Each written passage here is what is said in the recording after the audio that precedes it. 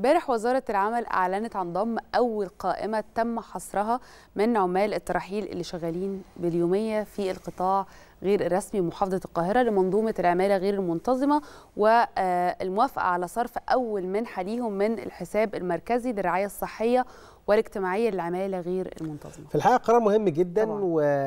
ويعني أعتقد أن هي فئة لم تكن على البال يوما ما فيما يتعلق بالتأمين عليهم الأستاذة الشيماء عبد الله كمال مدير عام الإدارة العامة لرعاية العمالة غير المنتظمة في وزارة العمل. أهلا بك يا فندم صباح الخير عليك. أهلا وسهلا بحضرتك صباح النور. يعني تعرف يعني في البداية على تفاصيل أكتر عن قصة إضافة عمال الترحيل للعمالة غير المنتظمة.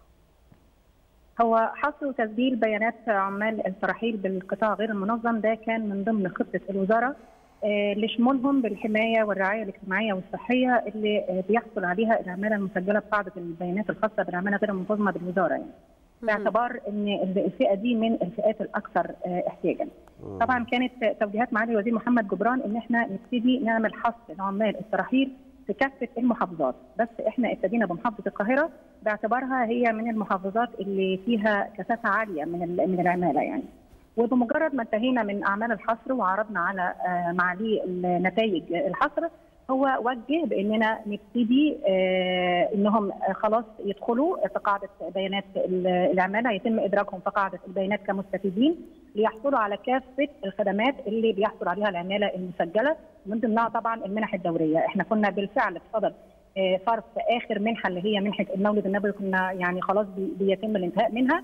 فهو آه، معاليه قال لنا لا نعمل ملحق ليهم مخصوص ويبتدي الصرف ليهم أسوة بزمايلهم اللي صرفوا. بالفعل تم عمل ال- الملحق ليهم. والصرف إن شاء الله هيبقى شغال ابتداء من بكرة.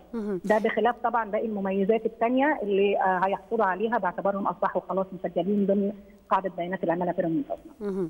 أستاذة شيماء آه، بعد التحية بحسب القائمه آه، الأولى أو القائمة الأولية من عمال التراحيل تقريبا شهدت تسجيل كم عامل على وجه التحديد ومن المفترض يعني العدد اللي عند حضراتكم تقريبا قد إيه المفروض يكون ضمن هذه القائمة بشكل عام والله هو حاليا حسب اضافتهم 1034 عامل. مهم. آه ومن المنتظر طبعا يعني دي محافظة واحدة إحنا لسه في 26 محافظة. آه المفروض إن ال- ال- الرقم ده هيتضاعف هيتضاعف بشكل كبير يعني فإحنا ده اللي تم تسجيله من محافظة القاهرة بس اللي تم إضافته للقاعدة وإن شاء الله هيتم استكمال إزاي يا 26 فندم تم. ضمهم على آه، هذه القائمة تم ضمهم من خلال البيانات اللي تم حصرها من مفتشين التشغيل ومفتشين التفتيش اللي نزلوا المواقع اللي موجود فيها.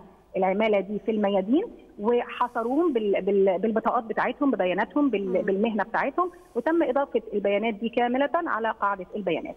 ده علشان إحنا كل الموجودين على قاعدة البيانات بيحصلوا على الرعاية الاجتماعية والصحية اللازمة آه، اللي بتوفرها لهم وزارة العمل. من حيث بقى منح دورية ست منح في السنة في منح خاصة منح آه، زواج منح مواليد آه، وفاة آه، أقارب في رعاية صحية لو عامل حصل له آه، يعني يحتاج لعملية مثلا كبرى صغرى آه، في كمان رعاية بالنسبة للحماية يعني بند الحماية لو عامل لا قدر الله أصيب في, في, في العمل أو حصلت له عجزه أو لا قدر الله حصلت له وفاة إحنا معوضين ال- البند ده ب 200 ألف جنيه بند مستحدث للحوادث آه، طبعا آه، بمجرد دخولهم في قاعدة البيانات هم أصبحوا مستفيدين من كل ده.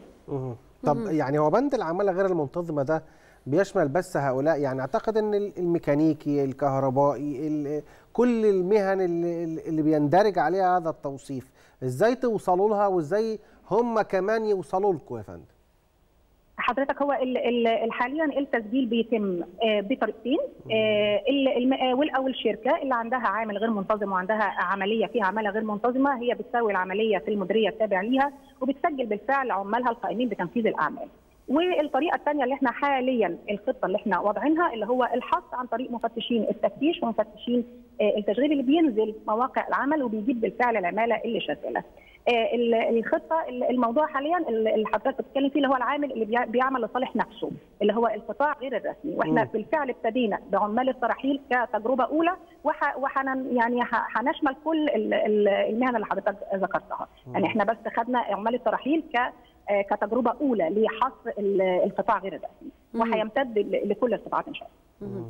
طب يا فندم يعني أهم الامتيازات اللي هيحصلوا عليها بعد ما تم إضافتهم في قائمة العمالة غير المنتظمة ويمكن سؤالي هنا لحضرتك كمان مش بس متعلق بالامتيازات المتعلقة بالمنح أو بالصحة لكن أيضا المتعلقة بحقوقهم في موقع العمل أو مكان العمل حضرتك العامل الغير منتظم بينطبق عليه قانون العمل أسوة بالعامل المنتظم له كافة الحقوق. يعني من ضمن البنود الحماية إن مفتشين السلامة ومفتشين العمل بيتأكدوا إن العامل ده بيحصل على أجره على ساعات العمل بتاعته ما بيتعرضش للخطر متوفر له السيفتي بتاعه في مكان عمله لائحه تشغيل الأطفال النساء. فكافه كافة الحقوق اللي بيضمنها قانون العمل وقانون العمل مش نازل لعامل بخلاف عامل ثاني قانون العمل بيخاطب كافة العمال في مصر سواء هو عامل منتظم أو عامل غير منتظم.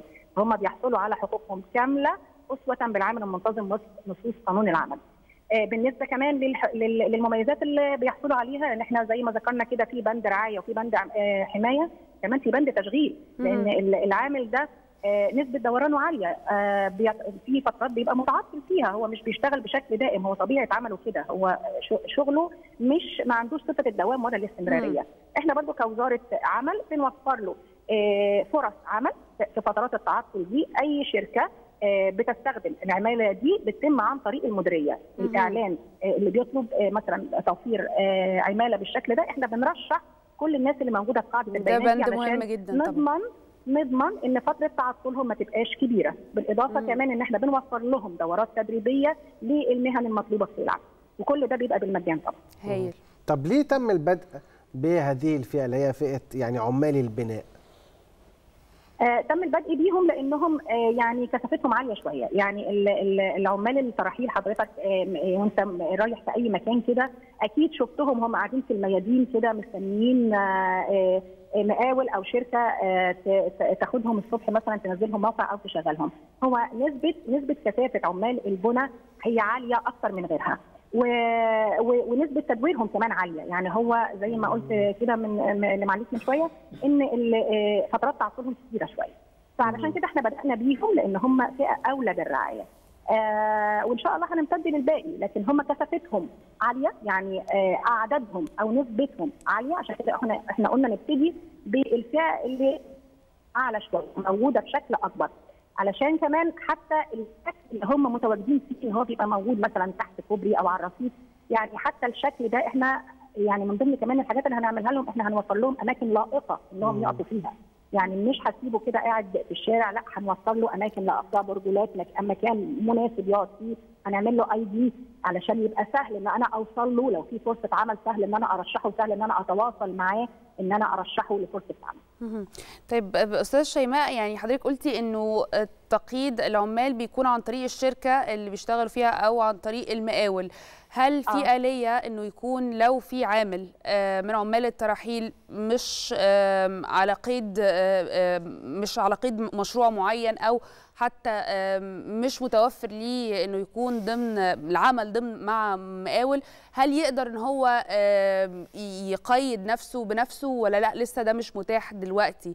وهل في رؤية كمان مبدئية لإمتى ممكن ننتهي من تقييد حد؟ وهنتكلم على عمال التراحيل فقط في محافظات مصر؟ حضرتك هو إحنا حاليا العامل هو اللي يدخل يعني إن في موقع العامل يدخل هو يسجل نفسه م. لا دي مش متاحة حاليا. لكن المتاح حاليا أنا اللي بروح له لحد مكانه. يعني إحنا خدنا شهر عمال التراحيل دول مثلا في القاهرة لانهم المفتشين كانوا بينزلوا لهم في أماكن تواجدهم في الشوارع وفي الميادين. إحنا اللي بننزل نجيبه من مكانه. مم. فإذا عامل ما عرفش يتسجل ما فيش مشكلة. ما هو المفتش متواجد بشكل مستمر هي مش هتنتهي. هو متواجد بشكل مستمر. كل فترة بينزل يحصر عمال تانيين. ودي هتمتد ل 26 محافظة ثانية إحنا مش مش هنقفلها على القاهرة. مم. لا هي هتمتد ل 26 محافظة التانيين. وإحنا زي ما قلت لحضرتك عمال التراحيل دي فئة أولى. لكن هتمتد لباقي الفئات إن شاء الله. إن شاء الله. طبعا بنشكر حضرتك. شكرا جزيلا الاستاذه شيماء عبد الله كمال مدير عام الاداره العامه لرعايه العمالة غير المنتظمه بوزارة العمل. شكرا لحضرتك.